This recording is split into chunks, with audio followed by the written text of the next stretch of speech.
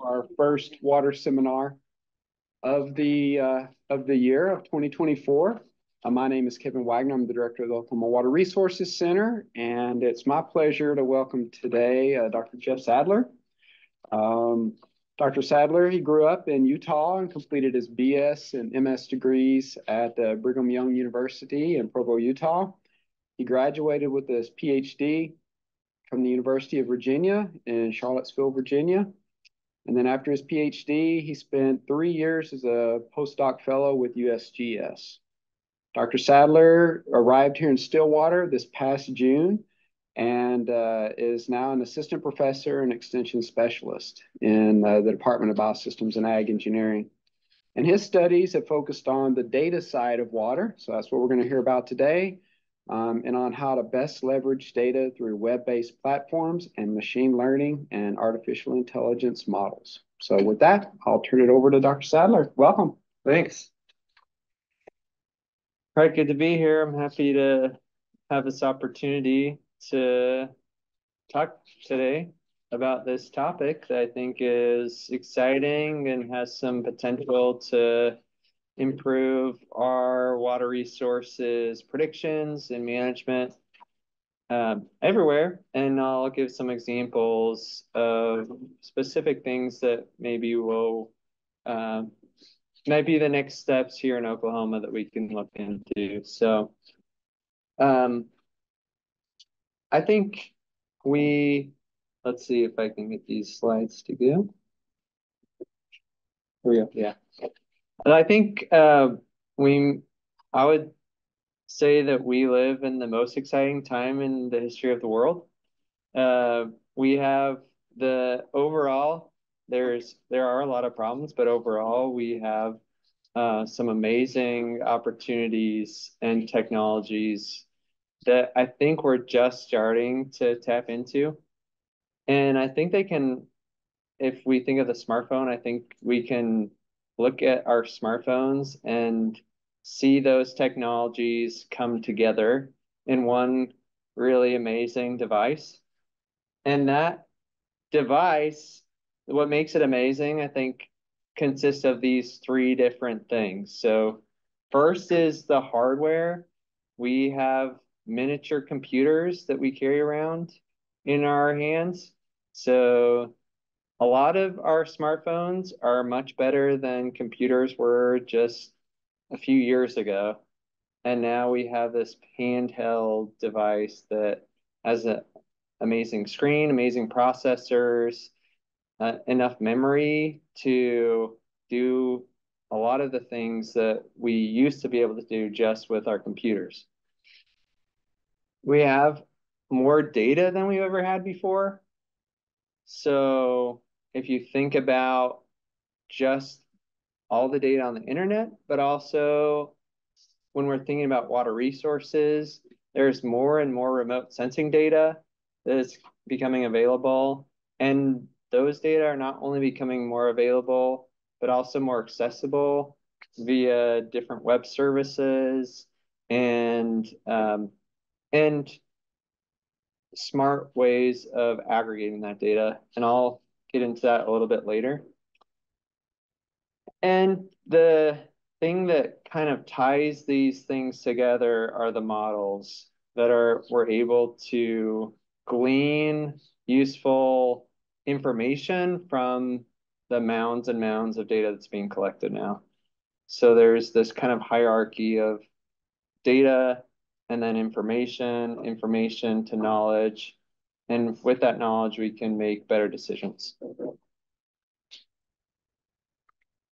So today I'll talk about a smaller subset of artificial intelligence and how the subset can be applied to water resources, a few applications in water resources. Artificial intelligence, from a broad perspective, you can think of that as human intelligence exhibited by machines. So that's a very kind of visionary statement that we're taking baby steps toward and may never achieve in a broad sense. Machine learning is a set of algorithms to parse data and learn patterns from it. So this is a, uh, an approach to start moving toward broader artificial intelligence. And then deep learning is a subset of machine learning. So it's a subset of algorithms, and these are large, many-layered neural networks typically trained with large amounts of data. So just setting those definitions out before I dive into more of the details. Deep learning is a subset of machine learning. Machine learning is an approach to try to get to AI or artificial intelligence.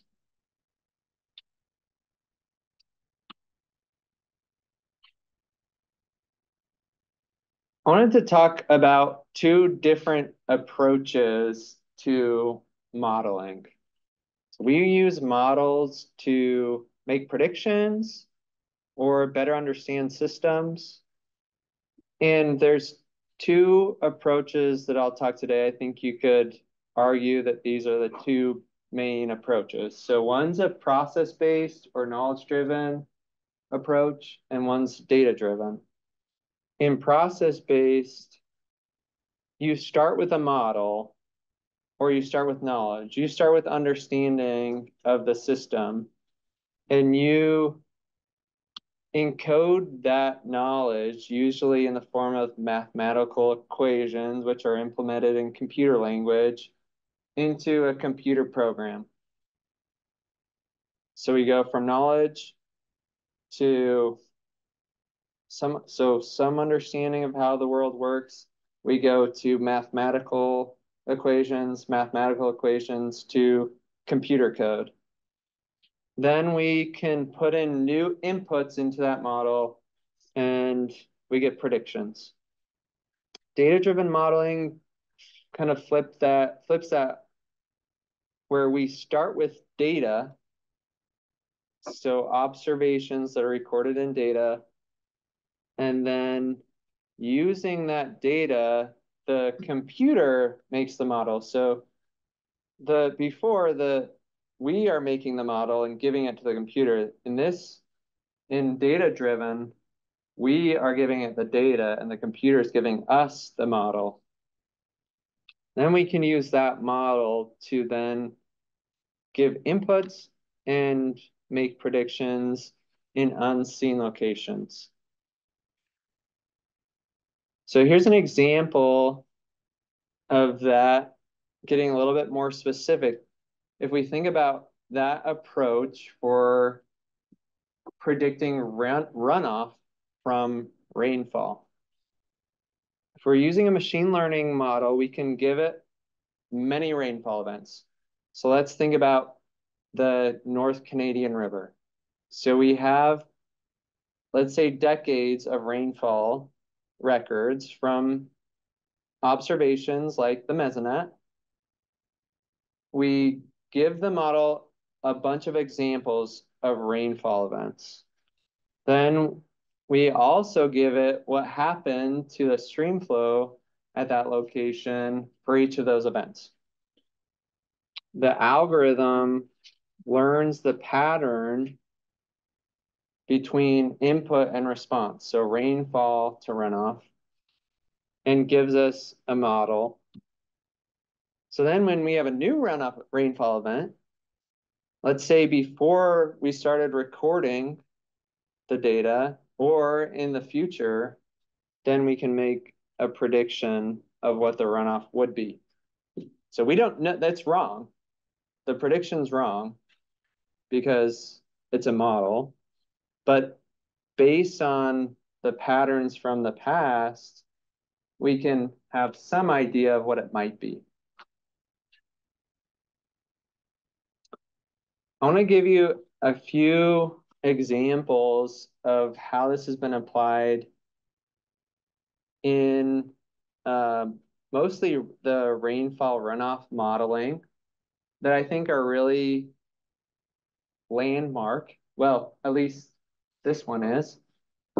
And um, and I think really interesting to think about. So this is a paper from Freddie Kratzert and some other folks that, that he worked with where they took data from from 531 basins across the US. So they took daily rainfall data and runoff data across the continental US and trained a single neural network to predict the runoff. So this is pretty, I would say maybe borderline revolutionary, definitely novel in hydrology. Before this paper, there were a bunch of papers using neural networks or other machine learning models or statistical models to to map that rainfall to runoff relationship. That's not a new concept.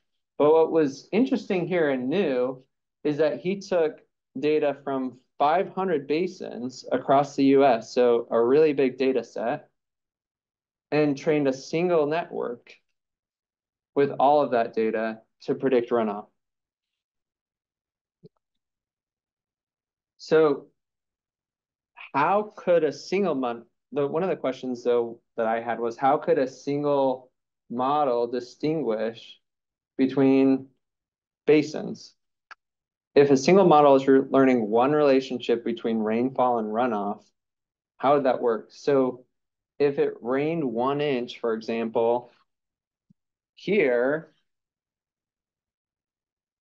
compared to here, that's going to have a lot different res uh, response, right? So a large, flatter basin with less vegetation compared to a smaller stream with a lot of vegetation. So how could a single model predict either of those? What was really cool, I think, and interesting is that what they did was to distinguish between the basins as input, as model input, they provided the elevation, catchment area, slope, vegetation, and other catchment attributes to the model, as well as the dynamic weather-related variables.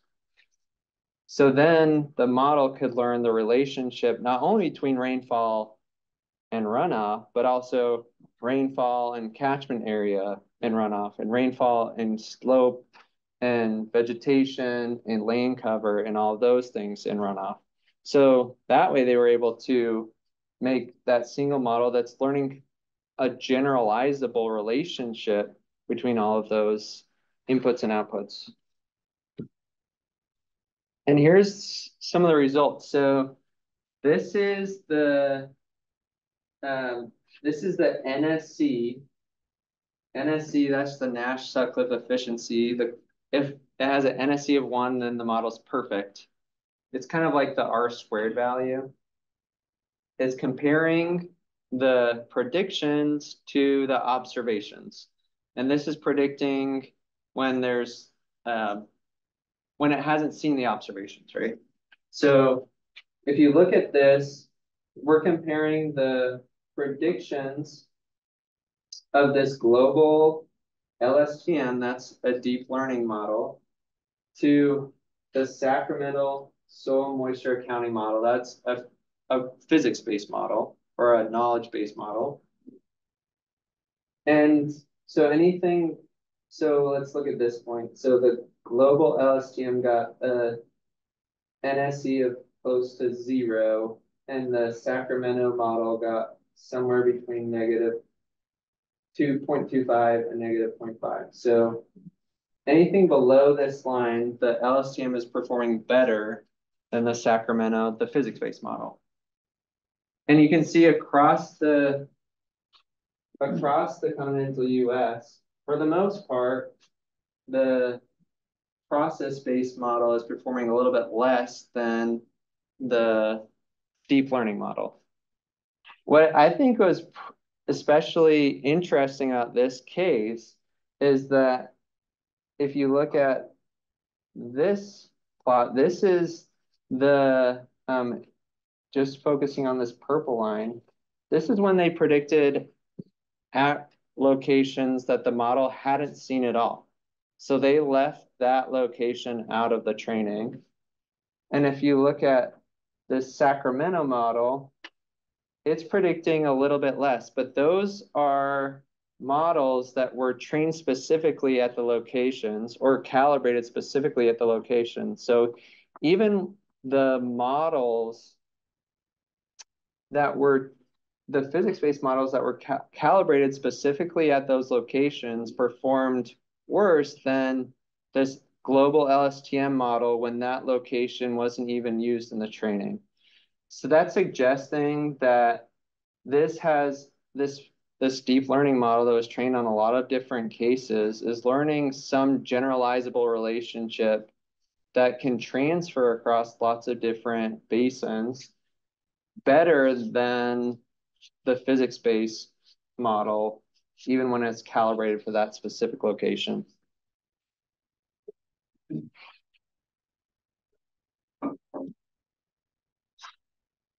So uh, some possible applications of this concept in Oklahoma. And these two are actually in development currently. One is to improve National Weather Service operational flood forecasts. So currently we're working with the Arkansas Red River uh, Weather Forecast or River Forecast Center, and they issue flood forecasts at different locations in Oklahoma. And at a couple of the, these locations, their process-based model always is performing poorly.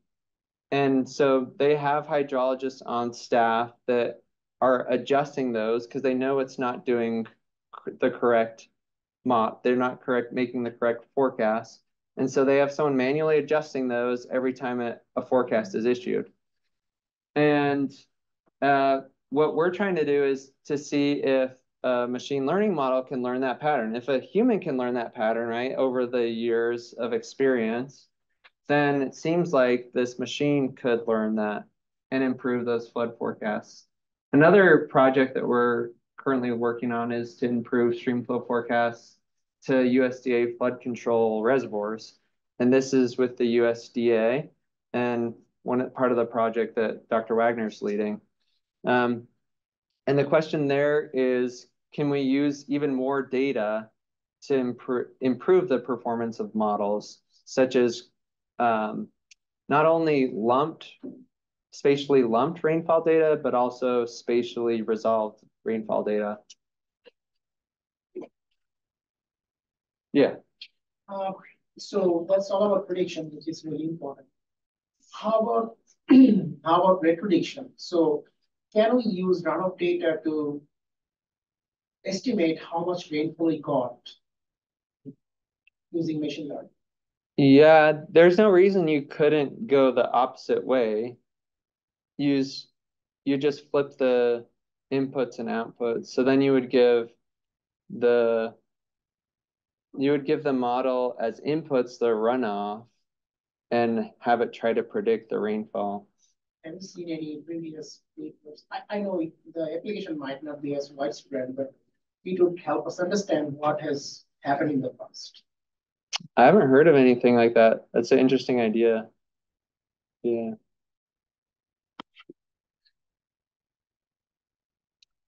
Okay, this is a second case study that I wanted to share. I was involved with this when I was at the University of Virginia. And the idea behind this is to train a machine learning surrogate model from a, I'll just read the, the uh, title. So we're training machine learning surrogate models from a high fidelity physics-based model. So we have a physics-based model called TUFLOW, which is a 2D hydrodynamic model. So it's a 2D model, and we're modeling this coastal area in a town called Norfolk, Virginia. It's very flat. And to model it, we uh, use TUFLOW, which divides the area into many small cells. Okay. And this and so the model has to simulate the dynamics of the water in all of the cells. And so it's very computationally expensive. The idea we had was, well, we have these model runs. Can we use that those model runs to train a machine learning model to be a surrogate, like a, a kind of like a cheap version of this high fidelity model. So one of the things that we what what was interesting is that we were able to well we were able to successfully do this, but in some of the locations there were some high error places where the random forest, that's the machine learning model, the machine learning model predicted that the rain the runoff would go a lot um, excuse me, the water would drain a lot faster than it actually did in the TUFLOW model. That's the high fidelity model. And so we saw, this was one of the examples. We looked here and there was a high error in our machine learning model. So we thought, okay, well, maybe the machine learning, maybe the machine learning model is wrong, or maybe the physics-based model is wrong what was interesting is that we went to this location, for example, and on Google Street View and saw that there were these drains here in the infrastructure that actually weren't in the high fidelity model. So in this case, that that error was actually indicating that there was something wrong in the parameterization of the high fit the high fidelity physics-based model. We thought this was kind of an interesting application of almost troubleshooting the physics-based model to find out where things might be not exactly correct and that needed attention. Uh, the other advantage of this approach is that on a pretty beefy machine with a GPU, it took the TUFLOW model six hours, four to five, four and a half to six hours to run.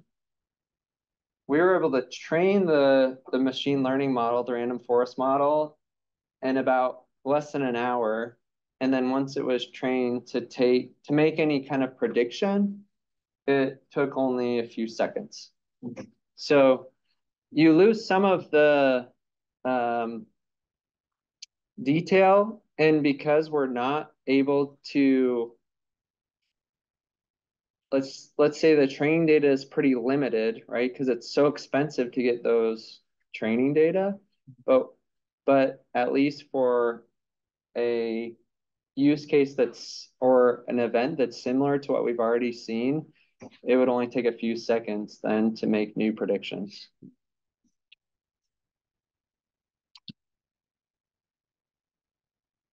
Um, so one possible application, and this would take a, a lot of work to get the actual hydrodynamic model running. So that still has to happen, but um, that could be used to improve hydrodynamic modeling in urban settings and especially when time is sensitive for like uh, early warning or uh, emergency response, you could have that surrogate running all the time once that is established. I want to pause here and talk about some advantages and disadvantages of data-driven modeling versus knowledge-driven. So in knowledge driven, some of the advantages are that it's consistent in time and space, meaning that no matter when we're uh, making predictions, those equations are always going to behave the same way. You don't need much data because you're relying on the equations and it's always physically realistic most of the time, I guess. So the times when it's not is that sometimes these models get over over parameterized and in the calibration of them they can those parameters can become meaningless because they're just trying to fit the observations some of the disadvantages is that we don't know everything we we have uh, some understanding of how these systems work, but we can't capture all of the behavior in our mathematical models. And even if we could, those models need so many parameters that we wouldn't be able to parameterize them correctly because we just can't observe those things. And and um, the other problem with trying to make such a complex model is that there are computational limitations, right? Let's if we did want to model, let's say even just a few square feet of a hydrodynamic model, you could infinitely zoom in and still not resolve those small changes if you're trying to um, get it exactly right. And that's only a few square feet. Not, not to mention like an entire city. Some advantages of a data-driven approach is that you don't need much knowledge. I guess that could be a disadvantage too. Um, you're learning directly from observations and you can learn these dynamic nonlinear behaviors. And we're also limiting the human bias. So it's when we have the um, physics-based models, it's one person that is interpreting the system or based on on a group of people, but you're still have this human in the loop that's making decisions about how it's implemented in computer code or um, how the or how the parameters or the different versions of the equations are used. Another advantage which we saw in the previous case study is that they run quickly after training. Some disadvantages is that they need plenty of data. And there's, this is the big one is this, there's no tie to physical realism. So for example, there's nothing that would prevent a model from predicting negative stream flow.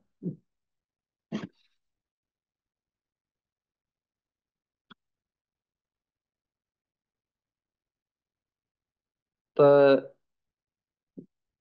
last thing I wanted to talk about for this um, this concept of machine learning is the idea of process guided deep learning. So this is where we combine the advantages of both deep learning and process understanding.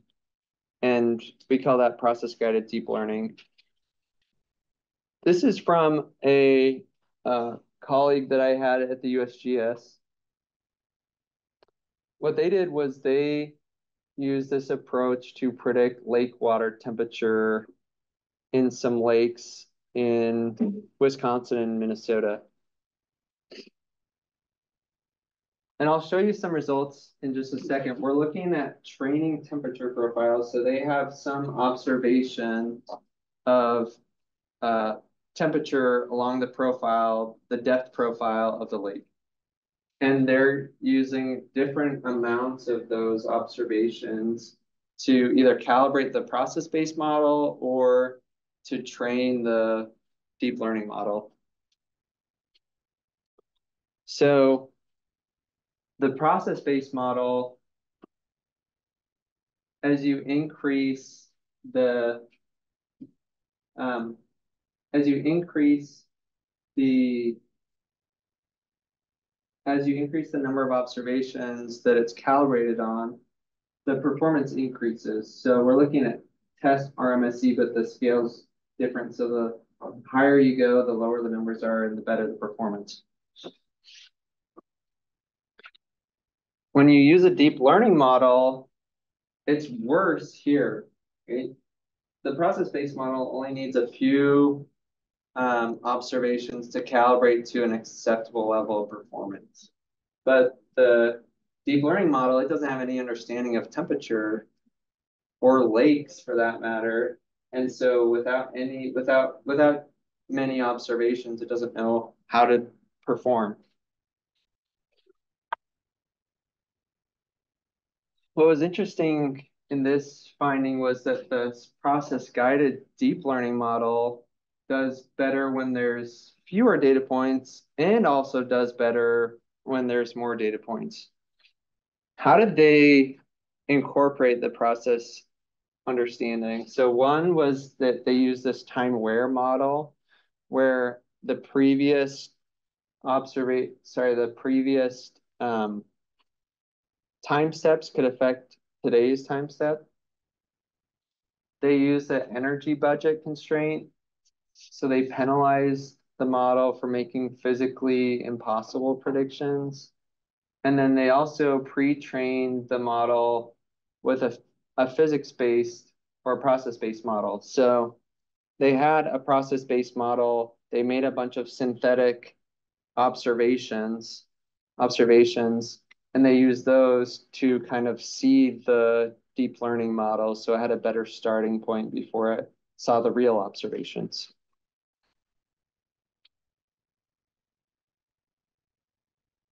I think in Oklahoma, this could be an approach that we use to make water quality and or quantity models for our lakes and streams. All right, the last example I wanted to show is this. This is Chat GPT yesterday. Have you guys used the analyst, the data analyst plugin? Okay, so I did this yesterday. I'm so I have this um, Oklahoma Mesonet corners data set where I took I downloaded daily data from the four corners. So the panhandle's one corner, and then Idabel, Miami, and Hollis for the period of record. So from 1994 till last year um, when I downloaded it. And so I'm asking ChatGPT to look at the average annual rainfall at these um, locations. So I upload the CSV file and then I say, please tell me the annual average rainfall at the stations in this file. I'm not giving it any other information. So it says, great, you've uploaded this file. I will begin by examining the contents of the file. And I'll click in here in just a second, but it actually shows you the code. Well, I, I guess I do that the next thing. So the file contains several columns, and so it's interpreting the columns. The rain column seems to be the one we're interested in. To calculate the average rainfall, we will group the data by year and station ID. It figured out station ID is STID is the station, and then calculating the sum of each year. So you can see the code that it's writing too. And then here's the the average annual rainfall in those stations. And then I'm asking it to make a bar plot of that.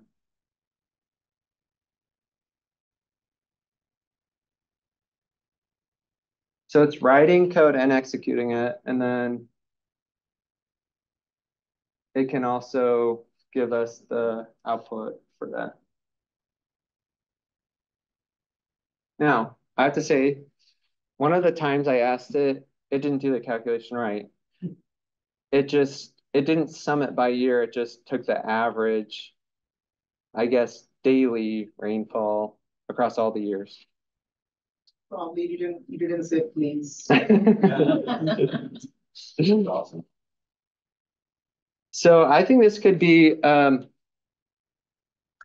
you know, if we give it, so I don't exactly know how this works, but you can create your own chat GPT with your own data.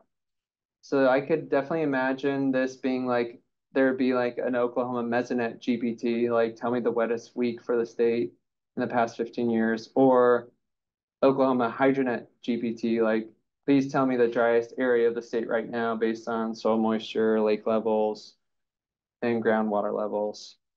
Um, again, you have to check that it's doing the right thing. Because it doesn't always do the right thing.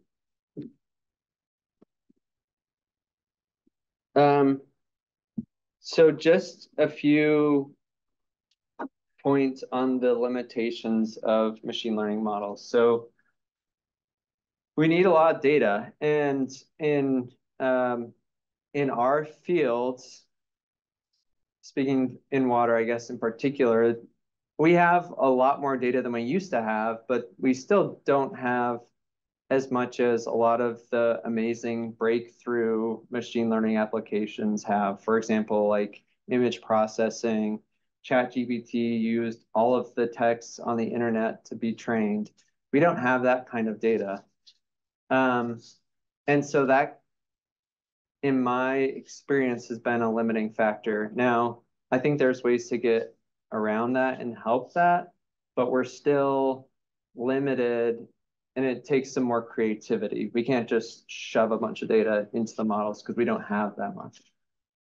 Um, what I've experienced and I've seen is that a lot of the time, so maybe we're not writing equations into computers, but a lot of the time spent in these approaches is managing, curating, massaging, what we can refer to as data janitoring, right? You just have to, there's a lot of uh, maintenance that goes into just keeping the data sets.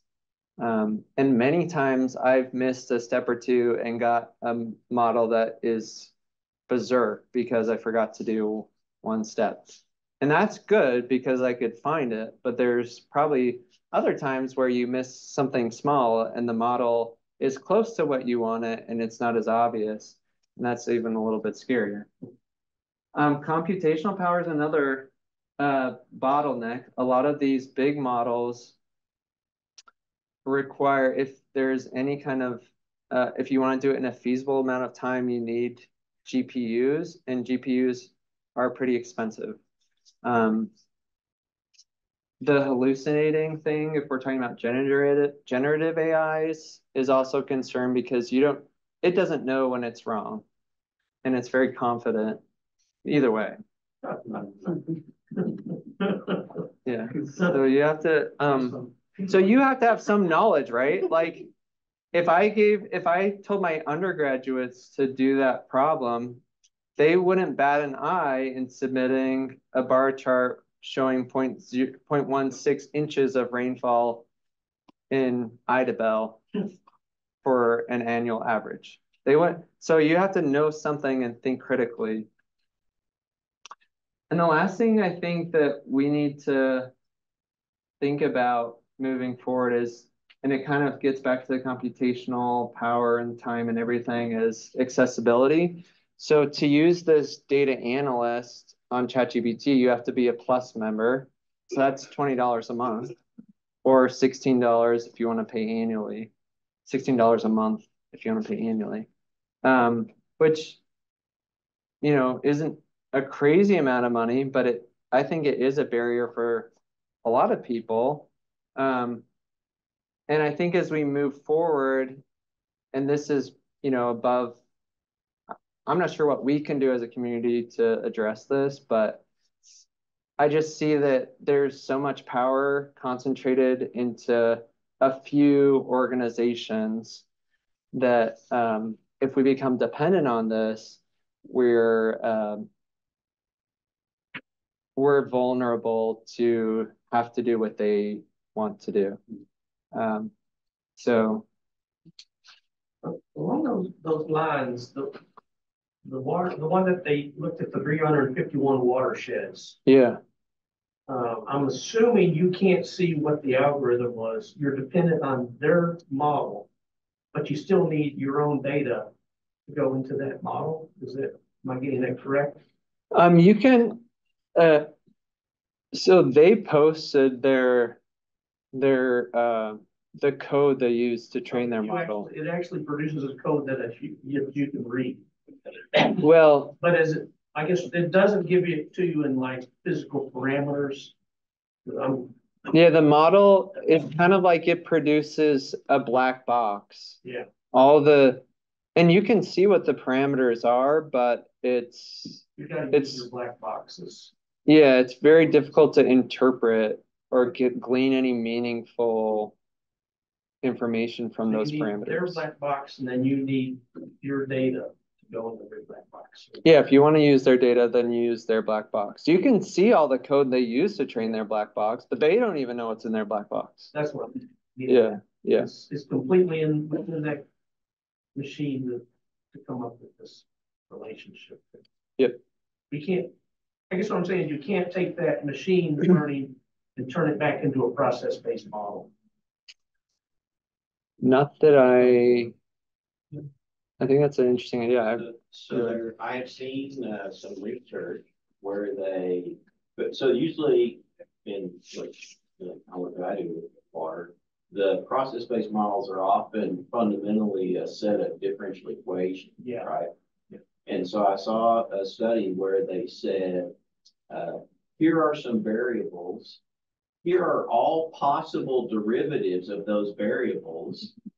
And they asked the machine learning to figure out which derivatives in fact made up the governing equation. And so they used machine learning to try to create a physics-based model. That's a very creative approach. I haven't seen much of that yet. Uh, that's. So there's a pretty reliable to do that. we Oh, go that's cool. The process. Yeah, Yeah. huh, that's interesting. yeah, That's and it sort of worked. Yeah. Yeah, sort of. But it didn't come to exactly the physically based model we expected. It was a little bit different. Well, a lot of the, in soil physics, a lot of physically based models, I mean, they're all. They'll, they'll work. They're all empirical and they all have the same reality, but they don't use the same form. So actually, machine learning may be better. Yeah, right. Is it any worse to just say, here's some data, you find the relationship compared to, Compared to the last, you know, hundred years of people worrying about water capillary relationships. yeah. I don't know. So, um, I guess in conclusion, I still think we live in the most exciting time in history. There's a lot of opportunities, um, but there are a lot of challenges. There, this isn't a magic wand that solves all of our problems. And I think in, in which, how do I say this? Rather than AI taking away our need to think, I think it makes us, forces us to think even more critically because we have this tool now and we have to figure out how to use it in a correct way. And so maybe it takes away some of the grunt work, but it pushes us to do what we can only do, which is to think critically and creatively and in a big picture. And uh, those are things that AI won't do. I like this. Uh, this is the, the Oklahoma State slogan: "Labor omnia vincit, labor conquers all." And um, machines conquer labor, so machines conquer all. There. Thank you.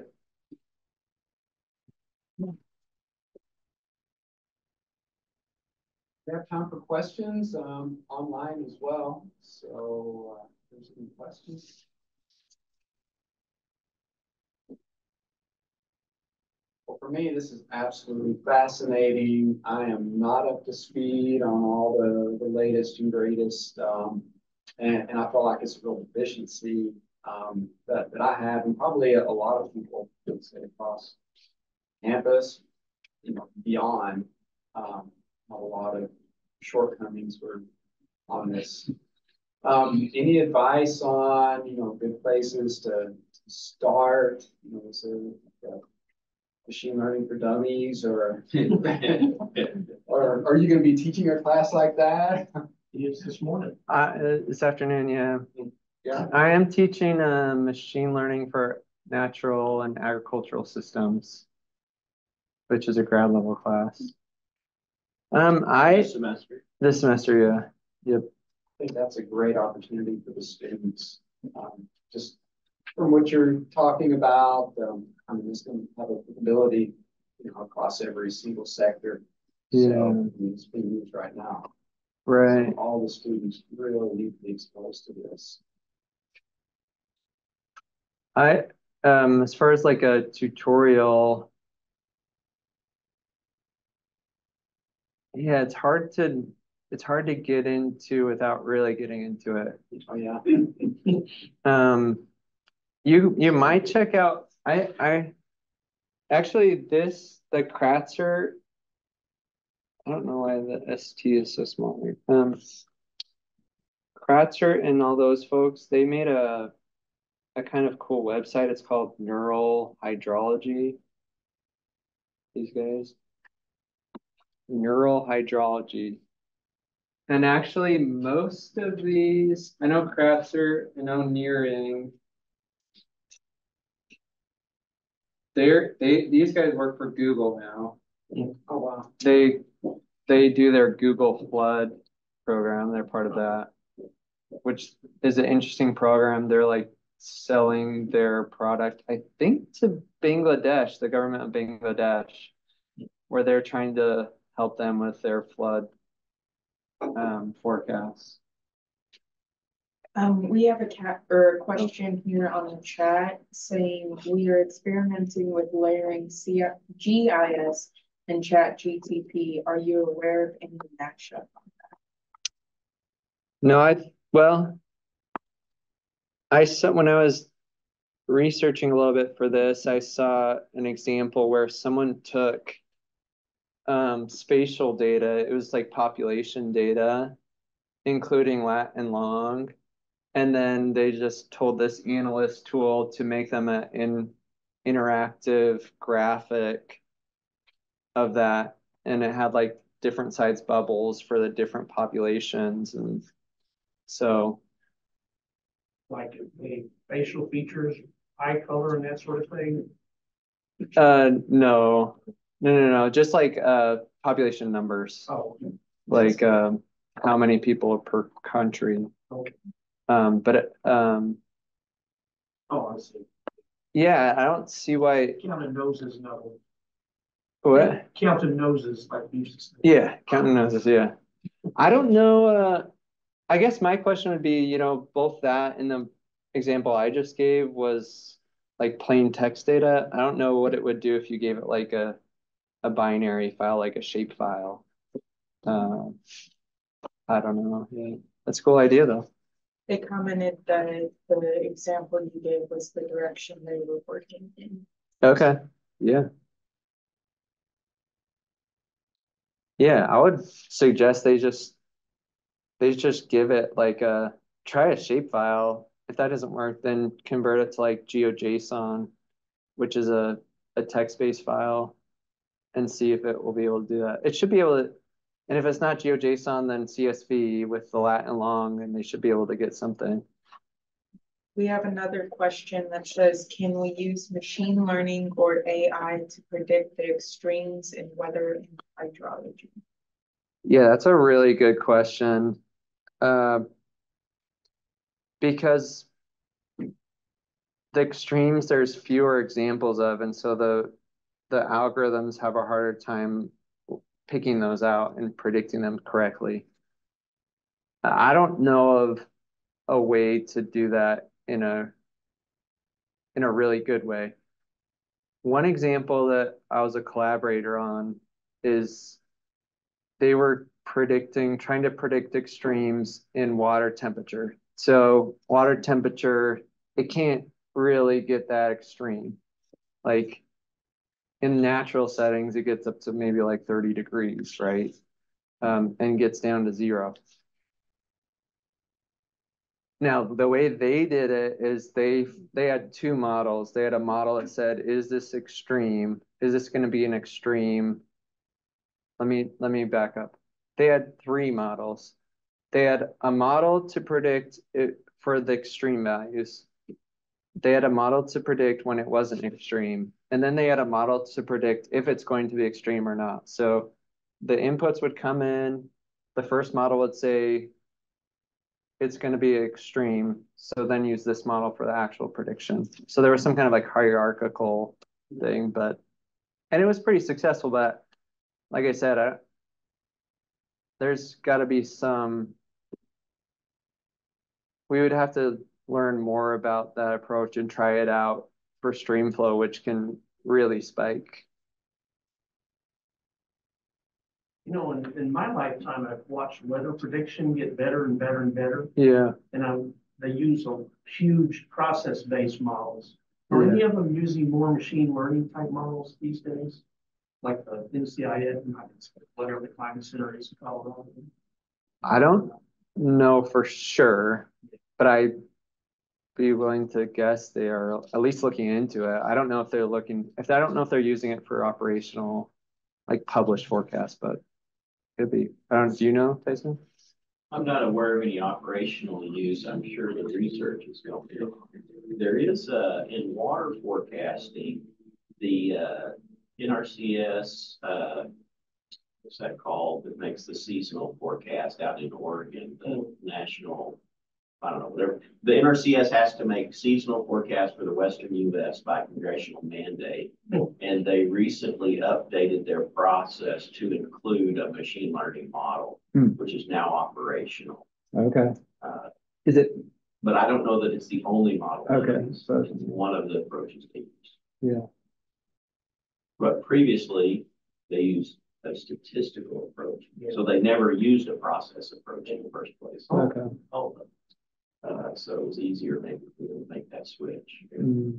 But when you built all of these huge, huge, huge infrastructure for these project-based models, you would almost be you might feel like you're throwing all that away. Yeah. I mean, I mean, I was, like, if Google Upstart was taking, you know, they started doing it and, and then all these, you know, huge government-based models. were now.